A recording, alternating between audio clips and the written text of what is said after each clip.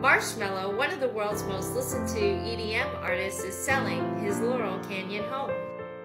Yeah, we checked it out. It's not very hidden. It's kind of like right up against the street. In fact, you almost got run over when we were looking at it, didn't you? Yes, kind of, but that's because the street was really narrow and they were driving recklessly. But anyway. It looks gorgeous. Let's take a look.